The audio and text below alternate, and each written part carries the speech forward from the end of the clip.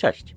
W poprzednim filmie pokazywałem detektor Boscha, który dobrze radził sobie z wykrywaniem nie tylko przewodów pod napięciem czy elementów metalowych, ale także np. plastikowych rur. Miał jednak swoje małe wady. Dzisiaj pokażę detektor FNIRSI. Też ma kolorowy wyświetlacz, ale ze wskaźnikiem poziomu sygnału i możliwością ustawień czułości. Jest mniejszy, poręczniejszy, ma etui, no i jest znacznie tańszy. Ale czy dorówna Boschowi w tym co najważniejsze, czyli wykrywaniu? Sprawdzę to. Na początek najprostszy test. Przewód pod napięciem, przykryty pleksą.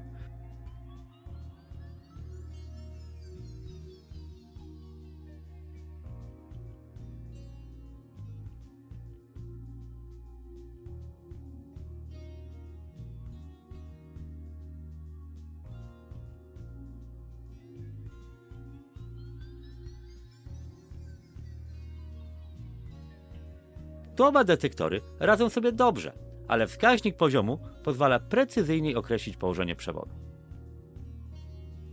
Przykrywam płytą gipsowo-kartonową akustyczną i płytką podłogową.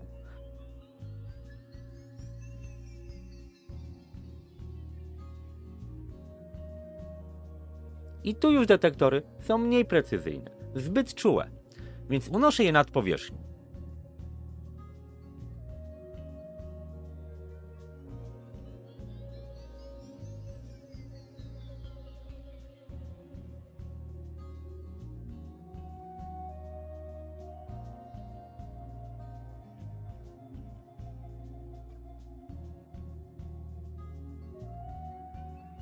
Płyta gipsowo-kartonowa skutecznie utrudnia lokalizację przewodu.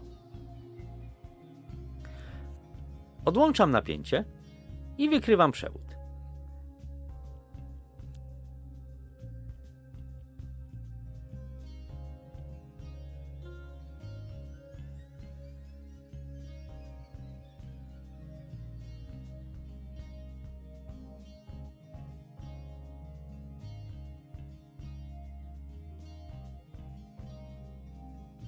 Praktycznie oba prawidłowo wykryły.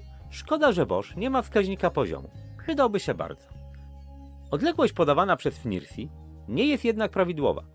W rzeczywistości wynosi około 2 cm, a nie 5. Przy wierceniu to może być bardzo duża różnica.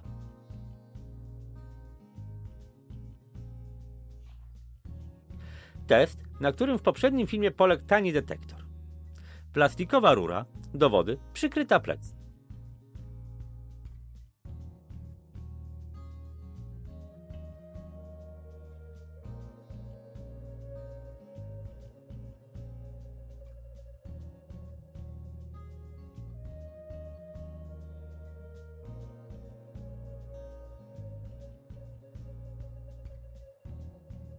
Oba detektory wskazują miejsce, ale Bosch dopiero za drugim razem, a FNIRSI praktycznie od razu i wskaźnik zadziałał dość precyzyjnie.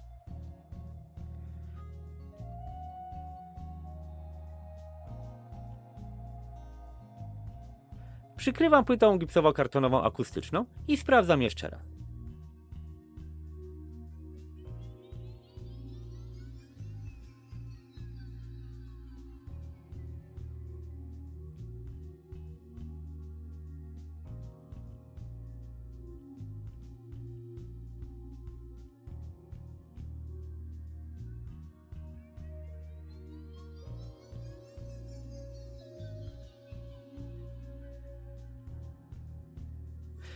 Tu Bosch nic nie wykrył, a FNIRSI wykryło, ale tylko raz.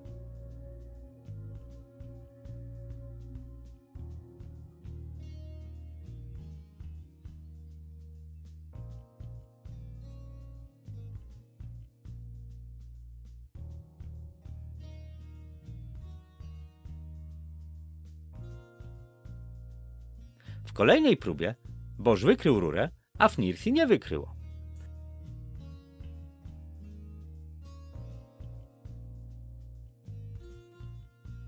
Sama płytka podłogowa bez płyty gipsowo-kartonowej.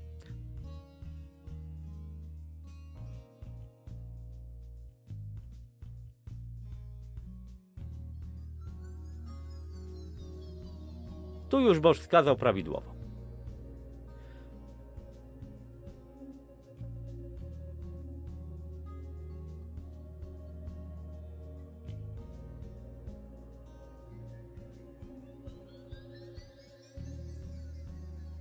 Tu już nie ma tego problemu. Jeszcze jedna próba z płytą gipsowo-kartonową, ale rura będzie głębiej. Większa pustka powietrzna.